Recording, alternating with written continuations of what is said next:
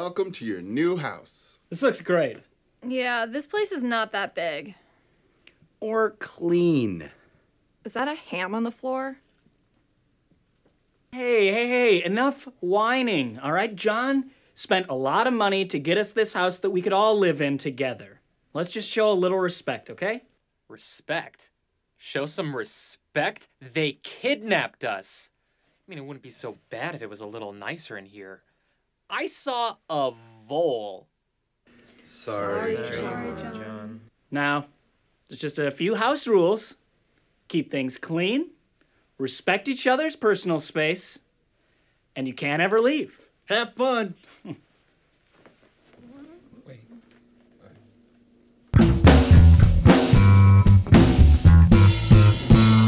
When I first started doing the show, I had no idea how much work there'd be. Or how involved the cast would be in my life. I guess I'm single now. In order to properly get over an ex, you need to purge his presence from your psyche. Present the artifacts. One physical token. One sample of handwriting. And one photograph. Oh, sorry. Ada! I'm sorry. Hey! Would you guys mind if I bunked with y'all? Get out of here, man! I just want to set my bag down. Leave! Fine! God! Girls are mean. I heard that. The trick is, is to label things that aren't even yours. That way, when people try to use them, they can't.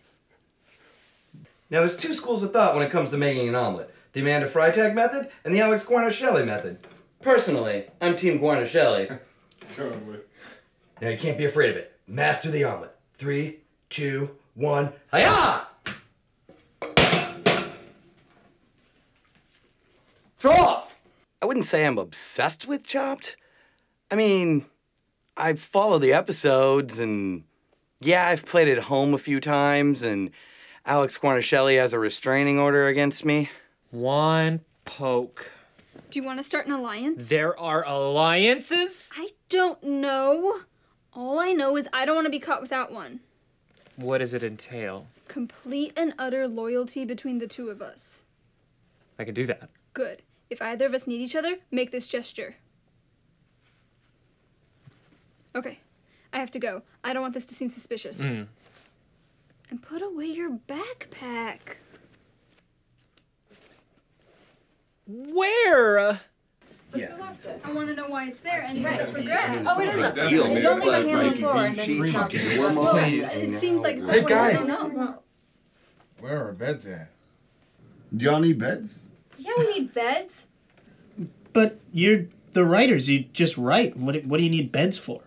Yeah, Joe's right. See, we're mostly on stage, so we'll need beds. For for beauty sleep. No! We are seven fully grown human adults plus Lauren! We need beds! Get out of here! Go on! Sleep! Hold them!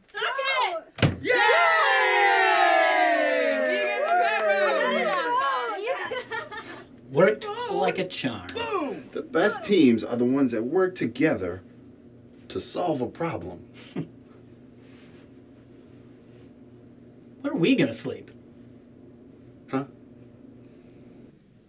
Smells like really good beef in here. Right? Mm-hmm. Yeah. I think so too.